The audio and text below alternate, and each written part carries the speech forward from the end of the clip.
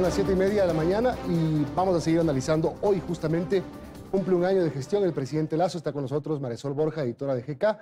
Martín Payares, editor de Cuatro Pelagatos. Yo quiero empezar preguntándoles, ya sabemos cuál es, la mayor, eh, cuál es el mayor logro de este año, la vacunación, sin duda. Pero ¿cuál es la mayor deuda con la que nos deja el presidente de la República? Dígame una, Sol. Inseguridad. Creo que las cifras de inseguridad históricamente altas, eh, si revisas del 1 de enero al 10 de mayo se han triplicado los crímenes violentos. Eh, ¿Pero por culpa del gobierno? No sé si sea la culpa, pero si estás en el gobierno eres el que debe gestionar. Es decir, si es que tú te postulaste para ser presidente, independientemente de que el contexto importe y lo que haya pasado en otros gobiernos traiga una cola, eres tú el que está ahí para resolver, ¿no? Claro, Martín, la mayor deuda de Lazo. Yo creo que la mayor deuda de Lazo es no haber sido capaz de darle un perfil, una ruta política al gobierno. Lazo al principio del gobierno habló de un acuerdo con Nebot y con Correa, no hubo, luego habló de que iba a, trabajar con la Asamblea, no trabajó con la Asamblea, dijo que iba a enviar proyectos de ley, luego dijo que los proyectos de ley no servían para nada, que podía gobernar eh, con reglamentos y con decretos. Eh, perdió la oportunidad de la, de la muerte cruzada y se ha quedado sin una ruta política, sin un perfil político y sin proyecto para el país. Liz, la mayor, digo, Liz, te toca preguntar. Sí, buenos días a ambos, pero Martín, ¿por qué pierde esa ruta eh, política? Quizás cuál es el momento de quiebre en el que ese camino, esa proyección que se dio en campaña, de repente pues se ve distorsionada. Y si eso tiene o no que ver con esto que él denunció en algún momento, ¿no? Que eh, había un plan de desestabilización del que estaba siendo víctima. Sí, pero, pero eh, era de su responsabilidad lograr recomponer la figura, ¿no es cierto? Recomponer la situación. Eh, hizo un intento con Pachacuti que la izquierda democrática no le funcionó. No fueron los aliados correctos, si se quiere. No hubo una gestión política para, para articular y sostener ese acuerdo. Y luego el momento de quiebre, como tú preguntas, yo creo que fue el de la muerte cruzada que no, no, no la hizo. Y ahora, eso de ahí también, eh, Sol, cómo se proyecta, ¿no? El hecho de que sí, muchos dicen perdió su oportunidad de ir a una muerte cruzada, hacer cambios en las leyes y ahora su popularidad, la baja que tiene, no se lo permite. ¿Cómo se proyecta este nuevo año que empieza pues de, de gestión con un escenario como ese?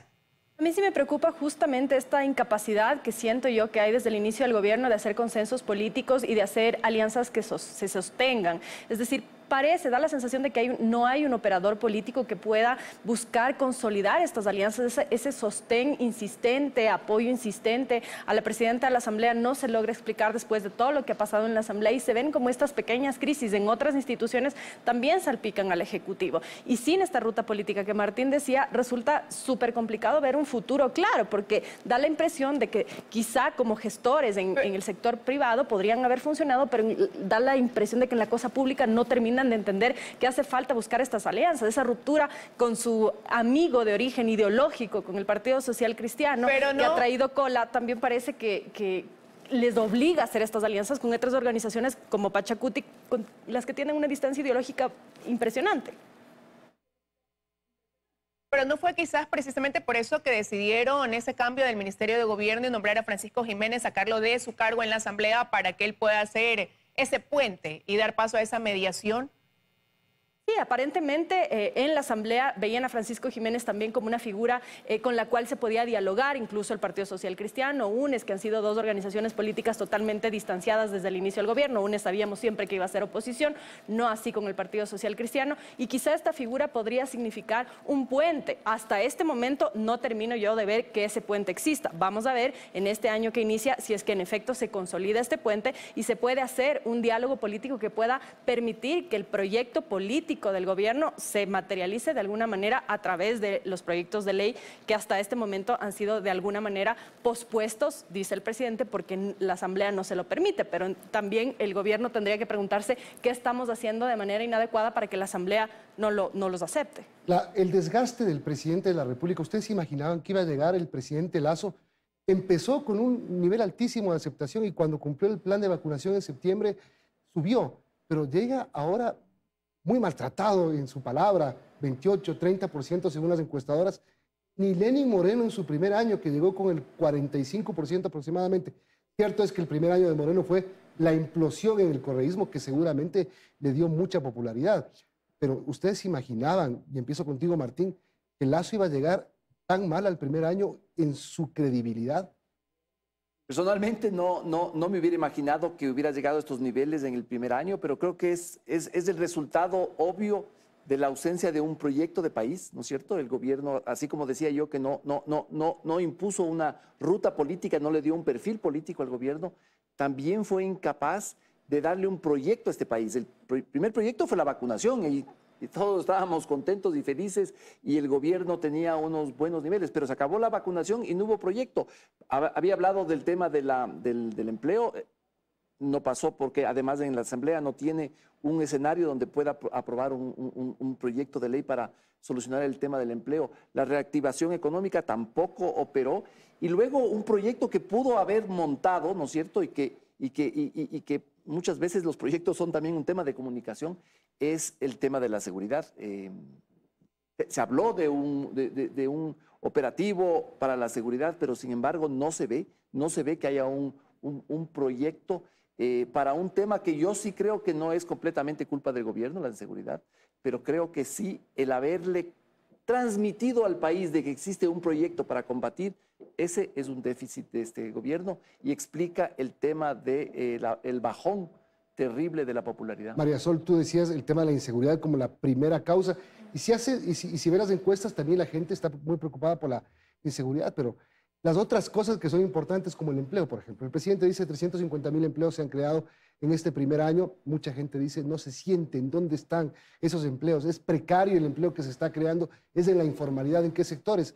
Y las otras cosas más, como que, que el Estado se volvió lento, no funciona, ineficiente, como que estamos pensando solo en lo macro y en lo mínimo, en lo micro, en lo del día a día, en la necesidad del ciudadano, como que está desatendido. Quizá por ahí el desgaste acelerado y la falta de comunicación? Yo creo que el discurso está muy elevado eh, desde Carondelet, ¿no? desde muy lejos de lo que pasa en la calle, da la sensación de que ni los funcionarios ni el presidente salen a ver lo que está pasando en la calle, lo que la gente dice, esta escasez de medicinas en los hospitales, que el hospital de niños de Guayaquil suspenda las cirugías porque no hay hilo para suturar, eh, que haya problemas para sacar pasaportes, para la sedulación, es decir, los problemas de la vida real. Una cosa es que te digan, hemos creado 350 mil empleos, bueno, ¿dónde están? Porque de momento nadie los está viendo. Es que cuando la tele lo reporta, por ejemplo, dice que exageramos. Entonces, es que no quieren ver, no ven noticias o no les creen a las noticias. ¿Qué? Lo que pasa es que si en tu vida cotidiana no sientes ese efecto del famoso empleo, no le vas a creer. Es decir, si es que tú vas a un hospital y no hay eh, paracetamol para que te atiendan o necesitan una operación un niño y no la puedan hacer porque no hay hilo para suturar, entonces evidentemente me va a dar lo mismo que me digan que han creado 350 mil o un millón de, empleos como ciudadanos de a pie. Y todos estos frentes que se ha abierto, además con grupos que lo apoyaron en la marcha del 8 de marzo, esta represión contra las mujeres que salieron a marchar, eh, dijo él que no iba a interferir, digamos, en, el veto de la Corte, en el, eh, en el fallo de la Corte Constitucional sobre el tema del aborto, finalmente sí lo hizo, a pesar de que el veto es legítimo, por supuesto, eh, pero sí son estos discursos que dice una cosa y después como que se desdice o dice una cosa y en, eh, cuando para un ciudadano de a pie eso no se siente en tu vida cotidiana, da lo mismo que den unas cifras u otras cifras que puedan parecer a los empresarios o desde un entendimiento de la macroeconomía, cifras importantes, si es que eso no se siente en lo cotidiano, da exactamente lo mismo. Ahora, y Martín, ¿es lo que dice o también lo que deja de decir? Porque para ese ciudadano de a pie, como dice Sol, quizás es difícil entender cómo por un lado se habla de los grandes logros en materia económica, que va a haber un crecimiento de la economía, una mayor recaudación tributaria, que se ha cerrado en este año pues 5 mil millones de dólares en inversión privada, que eso se va a ver eh, eh, con el tiempo, la economía comienza a, mejorar, pero sin embargo hay todas estas falencias, ¿no? no hay implementos para seguridad, no hay insumos, no hay medicinas, entonces ¿qué pasa con ese dinero que no se traduce en las obras que se esperan? Es, Liz, yo creo que hay un tema de gestión muy grave ahí, ¿no es cierto? Eh, es, es incomprensible que mientras es evidente que existe un tema con las medicinas, no exista un equipo del gobierno que se ocupe de eso. Eh, es, un tema de gestión, el tema de los hospitales, el tema eh, ciertas veces de, las, de, las, carreteras, ¿no es cierto? Se han hecho logros importantísimos en política fiscal. Yo creo que eso es, eso es, eso es histórico, eso es, no es poca cosa. El poner orden en, las cifras es, realmente, yo creo que es admirable, eh, pero sin embargo, eso no va acompañado de, un cierto eh, eh, compadecimiento con la situación, ¿no es cierto? Parece que hubiera una desconexión con el país. Entonces, solucionar problemas que pueden ser incluso más fáciles de solucionar que el, de la política fiscal, como el entregar medicinas a los hospitales. Ese yo creo que es un tema de gestión donde no existe una evaluación por parte del presidente por eh, resultados de sus ministros, ¿no es cierto? Yo creo que los ministros tienen que ser evaluados por resultados y eh, exigirles cuentas sobre eso. Y eso va ligado, Sol, con lo que tú decías al inicio, hablando de la inseguridad, ¿no? Un problema tan grande y de repente en enero se anunciaron 9 millones de dólares y se demoraron tres meses en decir, ya llegaron a la, Policía eh, Nacional, ¿no? Y en ese sentido, preguntarte también si es que sientes que se evidencian estas políticas públicas para resolver estos problemas estructurales o más bien son medidas parches para ir saliendo del problema poco a poco, pero no de manera sostenida. A mí me da la impresión que es lo segundo, más bien una especie de medidas parches y reactivas también, porque además es muy contradictorio lo que sentimos y lo que se reporta y lo que vemos versus lo que dice el presidente. Hace unos días decía que las cifras de inseguridad han mejorado justo eh, después de que en Esmeraldas explotaran dos coches bombas y al día siguiente o dos días después volvieron a explotar otros coches. La gente que está en Esmeraldas te dice, es invivible, los locales han cerrado porque se piden estas famosas vacunas, ya la gente no puede salir de la casa porque te asaltan, te roban, cada vez escuchamos más sicariatos, 11.4 eh, crímenes violentos diarios entre el 1 de enero y el, el, 10, el 10 de mayo. Es decir, es una locura, es es son cifras realmente preocupantes y eso ya te toca. Es decir, finalmente cuando oyes de la gestión política, de las cifras macroeconómicas, puedes decir, ok, vamos a ver si es que eso pasa, en efecto, pero cuando ya ves que te le asaltan en la esquina, que al compañero de trabajo le roban el auto, que al de acá le amenazan, es decir, ya eso, estamos hablando de otra cosa. Entonces, por más que el presidente hable de un país que parece que es otro país, porque muchas veces cuando le escuchamos, dices, ¿dónde está ese país? Dice que ha mejorado las cifras de seguridad, que se está trabajando, y ese es uno de los mayores problemas. O temas que ni siquiera toca, el tema de las medicinas no lo menciona entonces también hay como una ausencia simbólica del presidente de, quizá la necesidad de verlo, ir a, que él vaya a los hospitales a ver lo que está pasando. Hay como esta ausencia de, que uno se pregunta, ¿dónde está el presidente? Una cosa es estar tuiteando y decir las cosas son así, pero en la vida real no son así. Y da la impresión de que él no las quiere ver o no las conoce o no le interesan. Vamos a hacer la primera pausa y volvemos para hablar de este primer año del presidente Guillermo Lazo. Y claro, ¿Qué tiene que hacer a partir de que acabe su discurso en la Asamblea Nacional, que empieza a las once y media, y dar ese, ese giro a su gobierno para que se sienta que hay gestión o que empieza a haber gestión? Quiero hablar del tema de la comunicación del gobierno, porque parece que es una de las patas más cojas de esta mesa. Eh, y quiero una respuesta de los dos, eh, María Sol y, y Martín. El presidente Lazo es el único vocero que tiene el gobierno, a diferencia del gobierno anterior, que el presidente Moreno era el único que no era vocero del gobierno. Entonces, como que no hay una, una, un gris ahí. E, el presidente dice, se desdice, amenaza, después tira puentes. ¿Cómo, cómo, cómo equilibrar esto para el inicio del segundo año? Empiezo contigo, Marazón.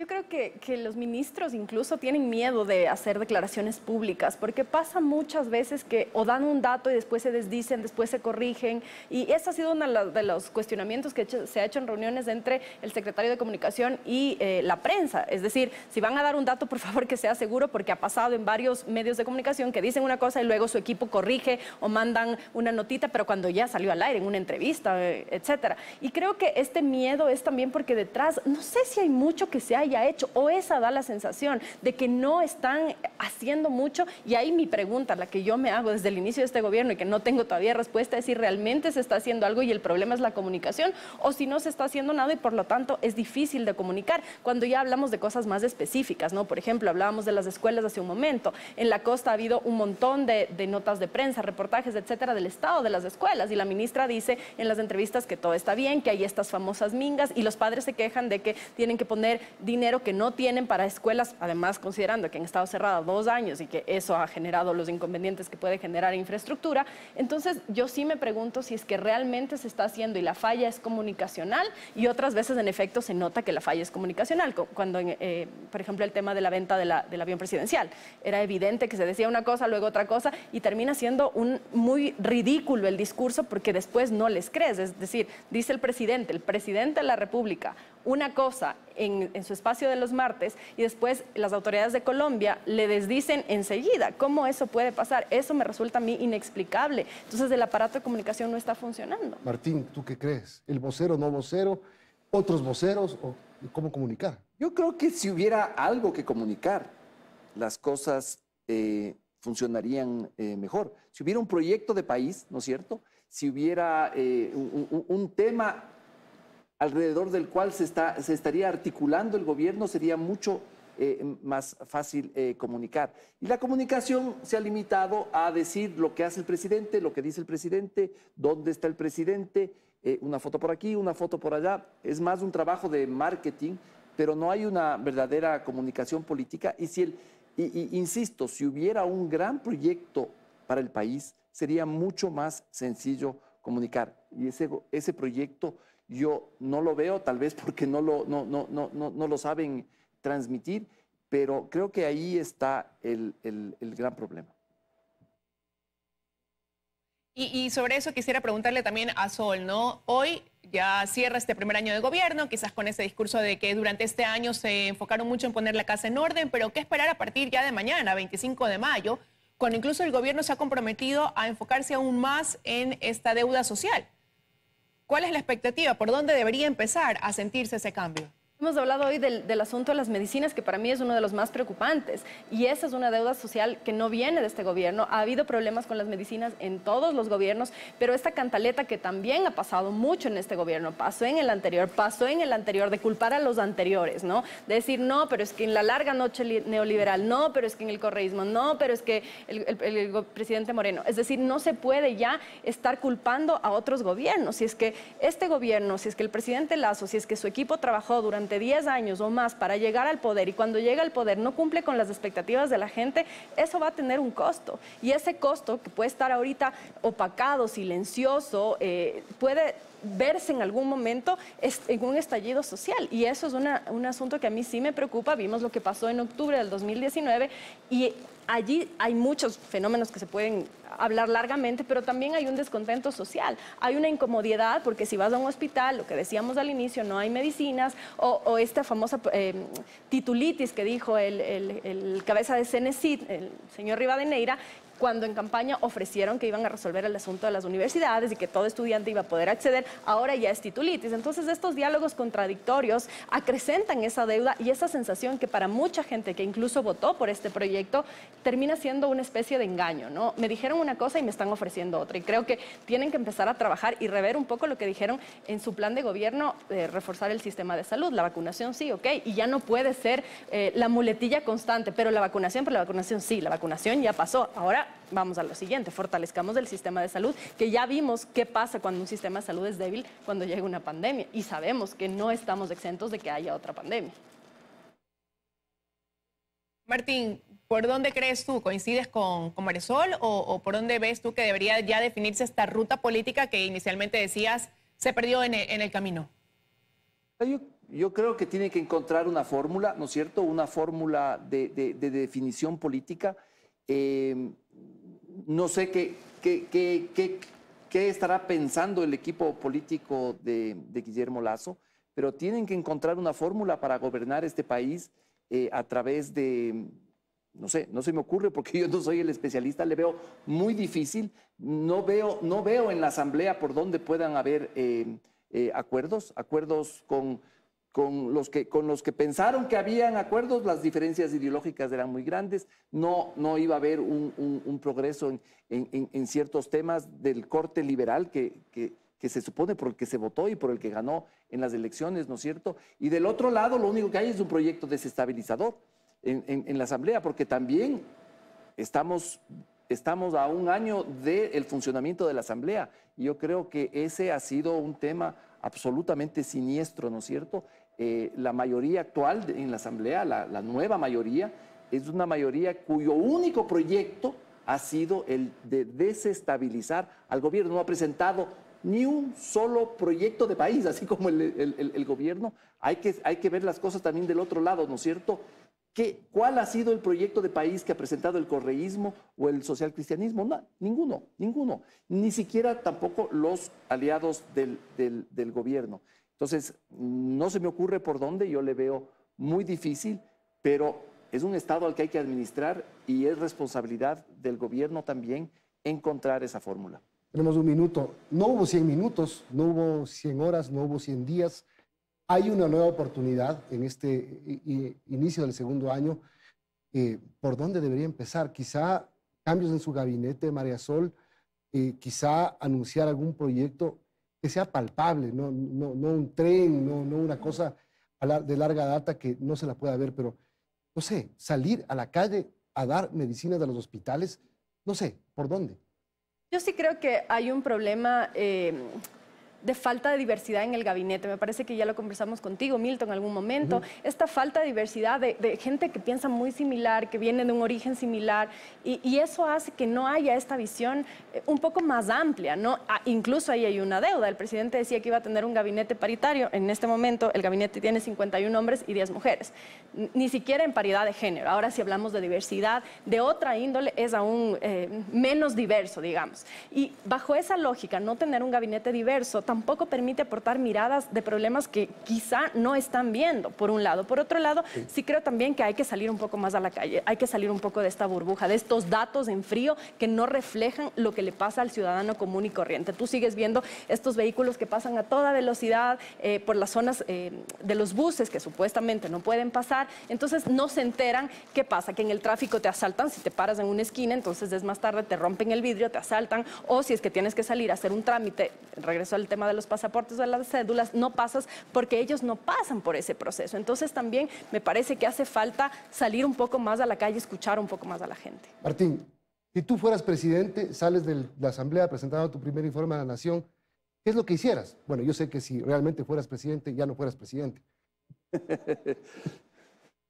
Eh, a ver, yo, yo ni soy presidente ni pretendo ser presidente, entonces lo que pueda decir puede ser cualquier tontería, pero yo sí creo que el, el- el presidente debe articular grandes ideas, proyectos para el país en el que su socio sea la sociedad y la opinión pública. Eh, es muy difícil que en esa asamblea encuentre socios, pero yo creo que hay una cosa muy importante todavía que se llama la opinión pública.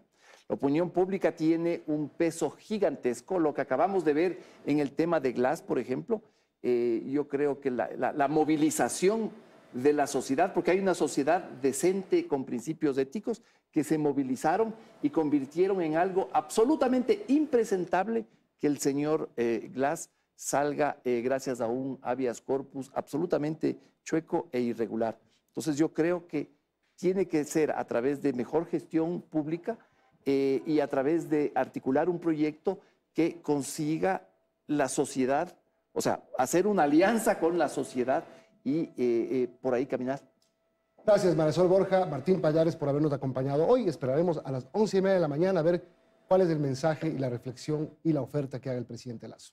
Terminamos, Liz.